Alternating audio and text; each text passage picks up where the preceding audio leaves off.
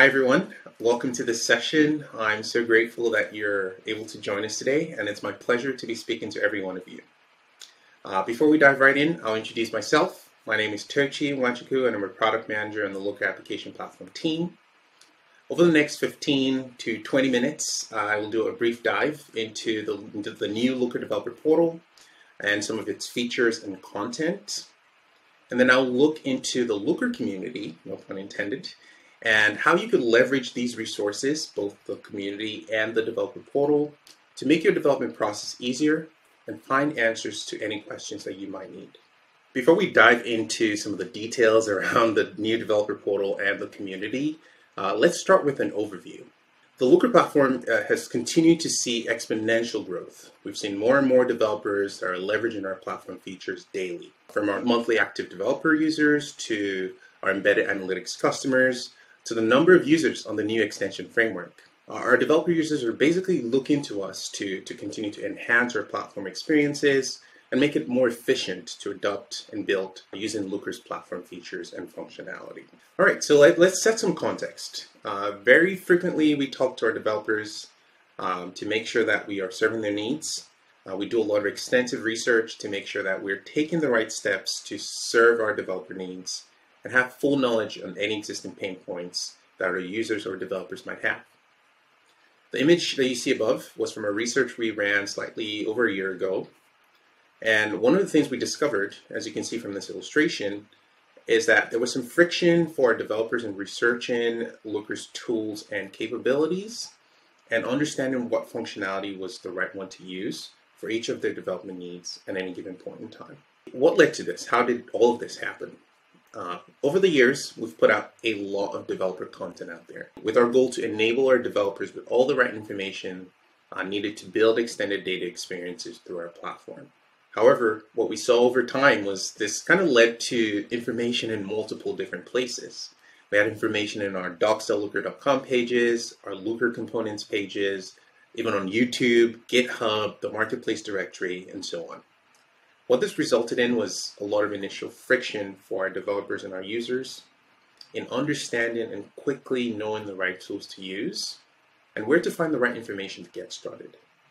So we basically came up with a plan and we set a vision. And the goal and vision we set was to create a one-stop hub through which all Looker developers and users can engage, discover, learn, and adopt our platform features, which will basically help them reduce that initial discovery friction enhance contribution, and foster a helpful community of valuable content and resources. These keywords that I mentioned in the previous slide are very important to us. Engage, discover, learn, and adopt.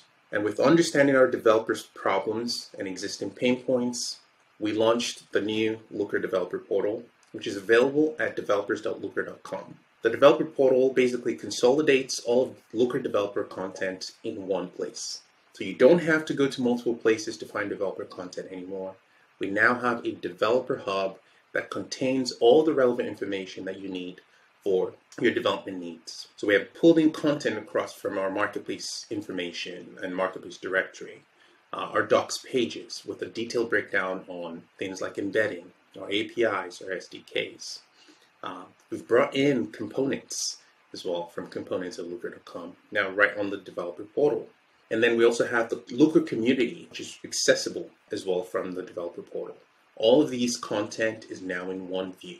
One of the things I also want to highlight here is we have the all new API Explorer, which I'll talk about in, in a little bit, which is our significantly enhanced interactive API experience, uh, reference documentation, and we've baked that right into the developer portal.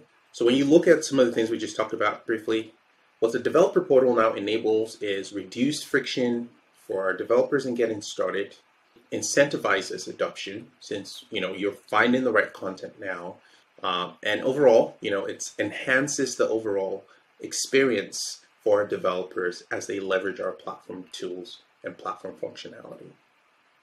So this is just a quick, you know, GIF image of, of leveraging the Looker Developer Portal.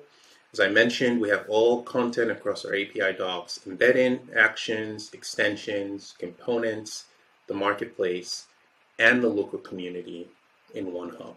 I'll just do a quick dive into some of the high level features and then we'll look at the community in a second. Um, I'll start with search. With the new developer portal, you can search across all developer content, which is basically something that our developers haven't been able to do in the past, right? You have all these these developer content consolidated in one place, and you can now search across all of it to find the right information right when you need it. One of the important features as well that we've added to the developer portal is the new API Explorer. Uh, the API Explorer is our next generation interactive API reference documentation it introduces significant improvements to our old and legacy API docs. It's much faster, it has a more responsive UI, it has improved usability and performance. So our developers are able to much more easily browse, search, and experiment with Looker's REST API endpoints.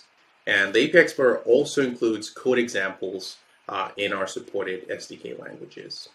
Again, just want to reiterate, the API Explorer is baked right into the new developer portal and allows our users and our developers to be more efficient as they go about developing with our with our platform. So we talked about the developer portal. One of the key things that is important for us is as well as bringing all our developers together, bringing our users together, and helping them find the right information. And that leads us to the Looker community. Uh, the Looker community today is directly accessible from community.looker.com, but you can also find this directly from the developer portal. Today, it does link out from the developer portal, but very soon we'll be taking steps to basically pull that in directly so you're staying in one place.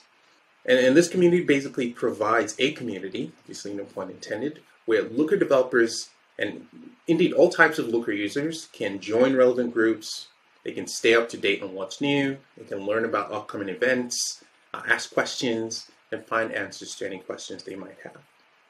So once you land uh, right in the Looker community, the best way to get started is to set up your profile. It basically takes a few seconds. When you set up your profile, you log in. And then after that, you can introduce yourself in our introduction forum and then familiarize yourself with all the community features. Now look at some of those community features now.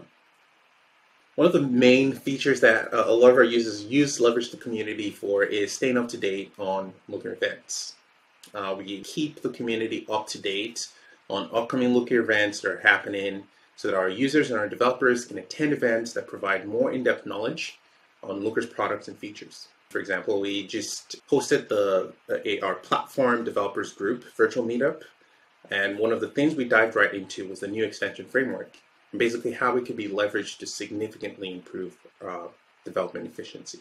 Very great session. In addition, the community also has something we call the kitchen table uh, which is simply a collection of product knowledge that we have curated across multiple different kinds of topics that are relevant to our Looker users and our developers. This includes technical tips and tricks and common account questions for all our users and our customers to explore.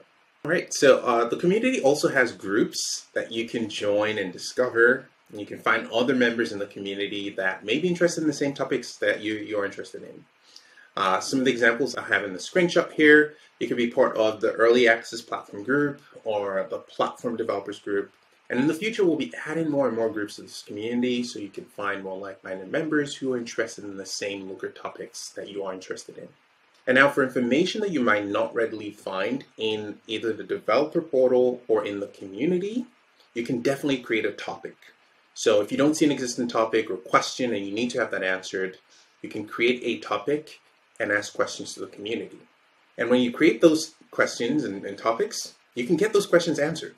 It could be someone in the community, so a community member can answer that question, or someone internal to Looker might be able to answer that question as well. What we envision is that as the community grows, we expect to see more growth in the engagement of our members, and we'll be continuing, we'll continue to take significant steps uh, to enhance this developer and community experience so that our users can find any information they need when they need it, either using the developer portal or asking questions and engaging with our community. All right, so now some final key takeaways from this session. One, the Looker Developer Portal provides a one-stop shop for all your developer content needs, and it's available today at developers.looker.com. And then finally, the Looker Community Hub, which is a place to ask all the questions you might have, interact with the Looker developer community, and stay up to date on upcoming events. And that's all I have today. Thanks for spending the time and you know hanging out with me. and I hope you enjoy the rest of your session today.